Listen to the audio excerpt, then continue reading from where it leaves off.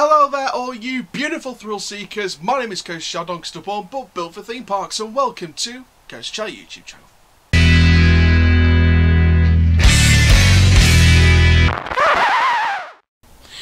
Hello there guys, my name is Coaster Chall Doncasterborn, but built for theme parks, and welcome to a theme park Halloween update. I didn't think I'd be doing a Halloween update in January, but that's the way cookie crumbles. So, this is actually an extension onto an update we did a few months ago, well about a month, about a couple of months ago. And this is all about Doncaster Fear Factory. This is the brand new Halloween event for 2021, returning after a few years, and we have some more sort of statements, got a full press article now so we're going to recap all the details that we covered in the first video on this uh, and also share some new stuff including a statement from a spokesperson on behalf of the project. So before we get started with all of that make sure you like the video if you've loved it. Comment down below your thoughts and opinions on this event. Are you going to travel to this event if COVID is no longer in the world? Also make sure you subscribe to the channel click the notification bell so you never miss another YouTube video also guys, make sure you go into the description down below where not only can you find the link to this article, but also you can find links to Twitter, TikTok, Instagram and Snapchat for this channel and also the Discord server link where you, yes you, the Coaster Chall fanbase, can be a part of the Chall Nation by interacting with me and other fans of the channel. And for now guys, let's have a look at this free press local article sharing details that we've already recapped in the previous video and new details including a spokesperson's comment about the returning Doncaster Fear Factory.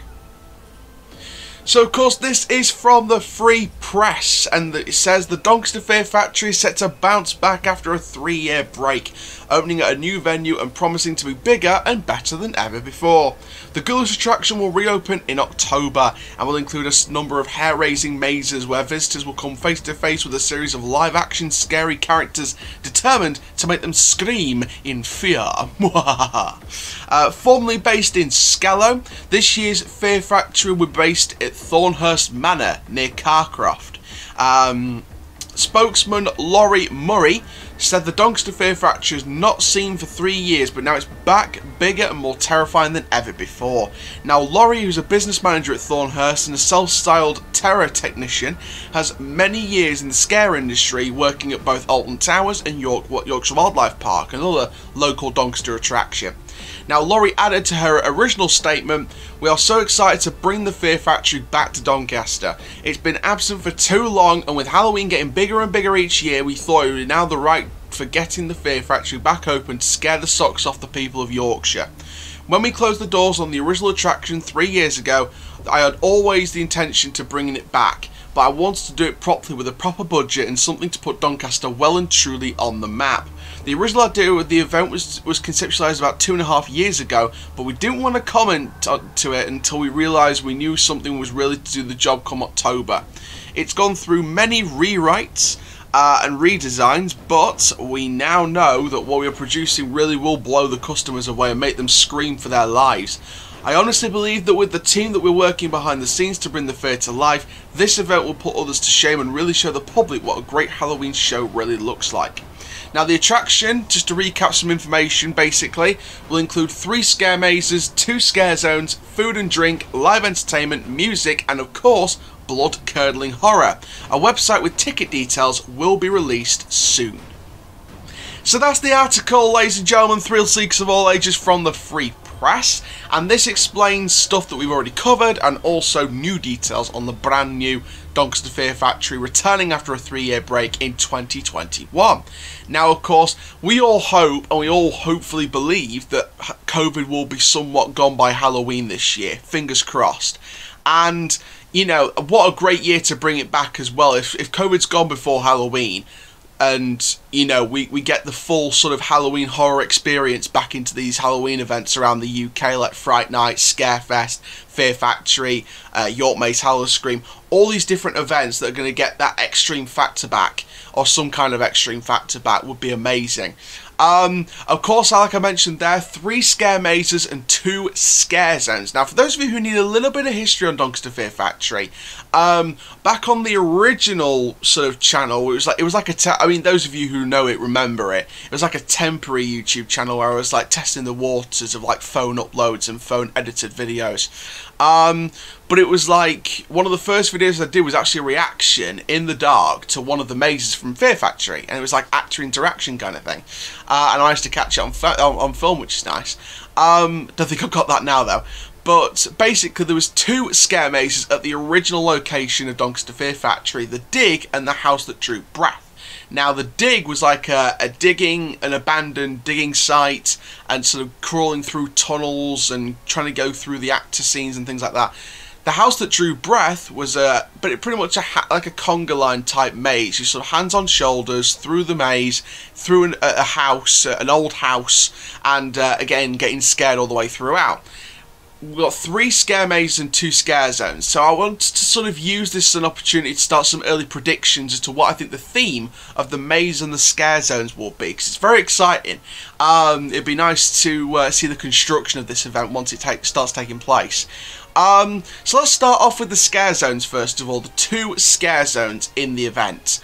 I think there's two big themes that could go for here. Now, I'm, in terms of scare zones, I'm looking at what Alton Towers Scarefest did with uh, the Freak Show. And you look at the Universal style scare zone where you've got one long stretch of path and you've got um, like actors placed at different points in the path, roaming around the path, and it becomes like a scare path, technically a scare zone. And obviously look at Zombie Scare Zone at Alton Tower Scarefest as well back in the day. You remember that one? Uh, obviously, Zombie Scare Zone used to be in Forbidden Valley, and you know the current, the, the sort of latest plot of land for it was used this uh, this previous year for Darkest Depths. So you know, again, looking at that, a long path zombies roaming around, different bits of theming around, and again that kind of scare zone uh, across one long path. I'd like to see him go down that route with one of the scare zones. I'd like to see one of the path routes gets taken over at a certain time for a full scare zone. Um, or like a separate path that just gets used for a scare zone path. Uh, in terms of a theme, again, I'd like to reference back to the other two that we mentioned in this video, Freak Show and Zombie Scare Zone. I'd love an undead theme. We saw some promotional pictures which I put on your screen. Uh, big shout out to Fear Factory themselves for the pictures. Um, you know, credit goes to them and you know I'd like an undead theme or a circus theme with either one of the uh, zones. I'd like, or both of them. I'd like to see an undead or a circus theme. Maybe uh, get some actors in straight jackets, and we'll do like a mental asylum scare zone theme.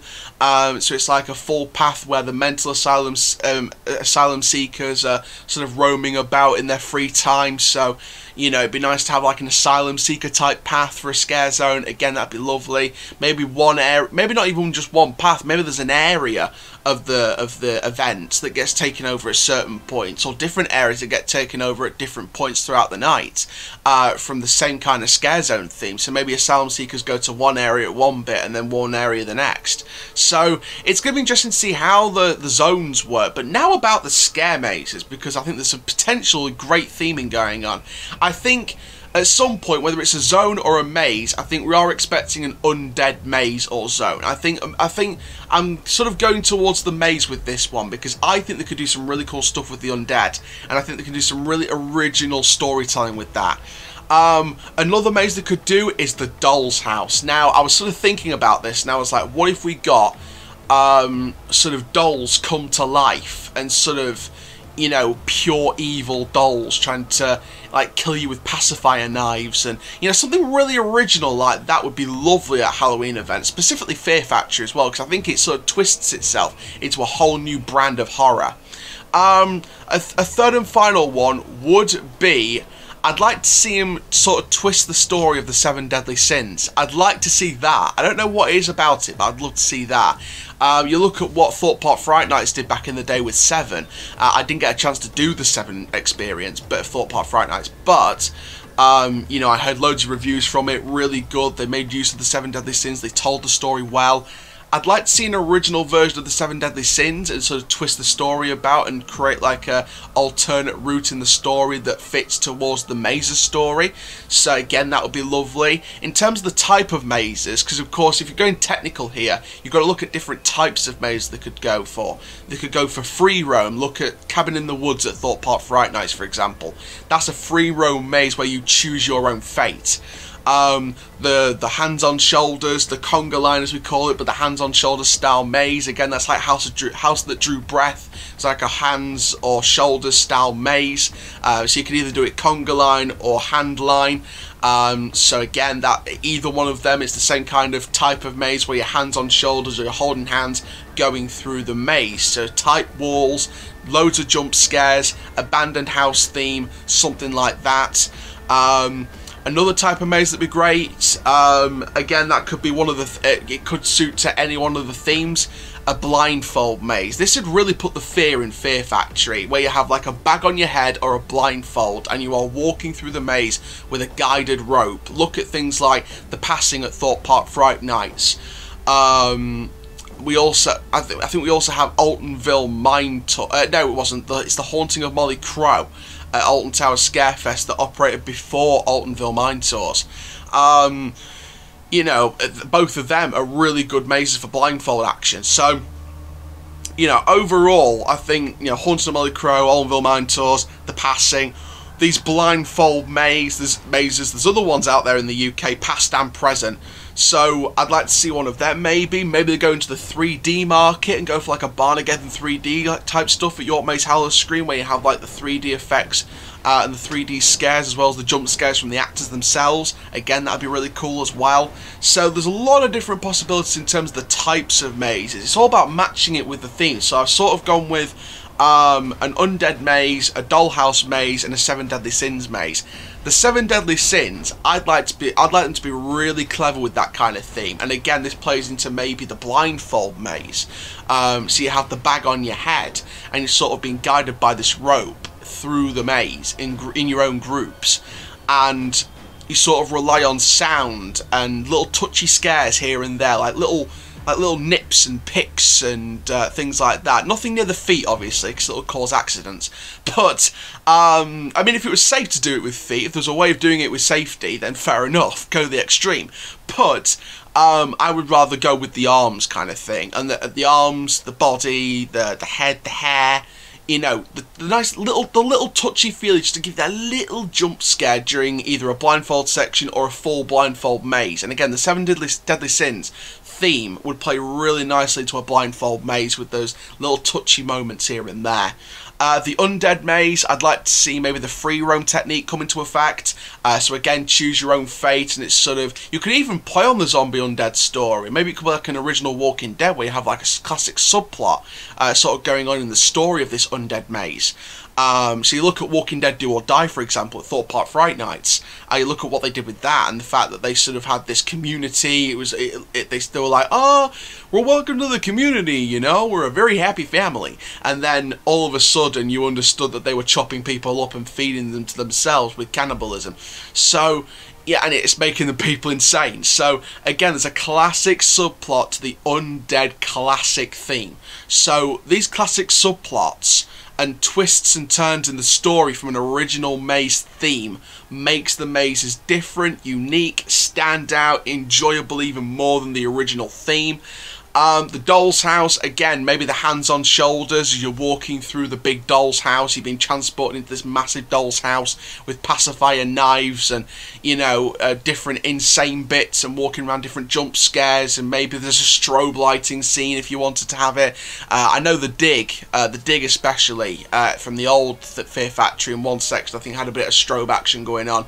Uh, and I know that uh, the meat locker, in fact, no, it wasn't the meat locker, it was the Singularity, in fact, um, at York Maze Hallowscream. I think I thought there was a thing in Meat Locker with strobes, but it wasn't. It was Singularity, and there was like a strobe section where it was strobe off, on, off, on, off, off, at lightning speed and you could hardly see yourself, never mind see the strobes going off. So you need good eyesight for that kind of maze if you're going to put a strobe effect in there.